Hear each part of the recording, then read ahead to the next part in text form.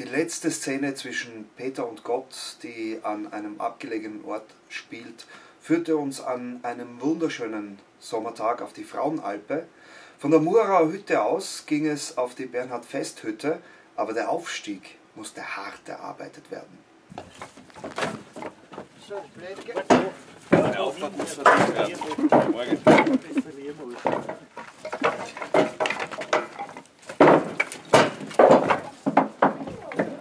fahren wir. Ja. Fährst du einmal. So. Wollen wir? Oh je, da musst du hinten sitzen. Mit dem ganzen Equipment. Das geht schon. Geht schon? So viel zum Bergsteigen in der Früh. Perfektes Wetter heute. Auf, wie auf, wie auf den Berg. Schau, schön im Plan, 5 vor 8. So schaut's aus. Kennt ihr das?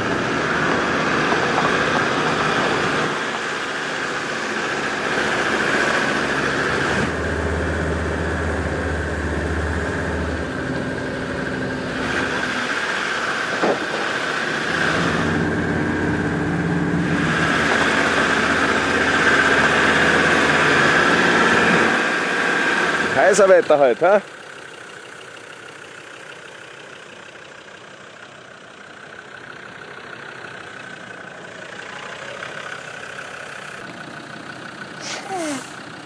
nicht Lukas. Ja, das ist glaube ich Kaiserwetter. Der Direktor, oder? Wissen wir schon wo? Beim Im Gipfelkreuz. So, aber zuerst wird noch gearbeitet.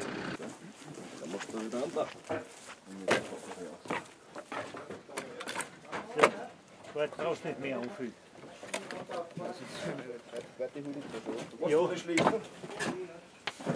Den letzten Weg zum Gipfelkreuz legten wir zu Fuß zurück. An dieser Stelle recht herzlichen Dank an Ed, Georg und Lukas Frisch, die uns auf dieser regulären Versorgungsfahrt mitgenommen haben und es uns erspart haben, das gesamte Equipment per Bedes auf die Frauenalpe zu schleppen.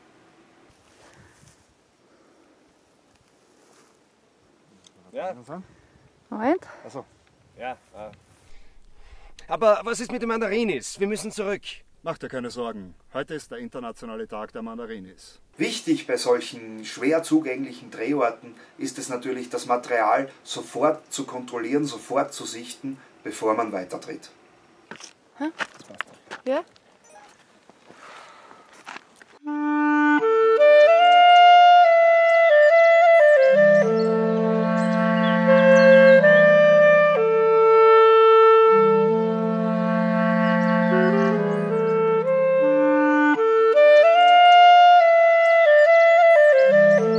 Weiße Punkt da unten, das ist der Andreas.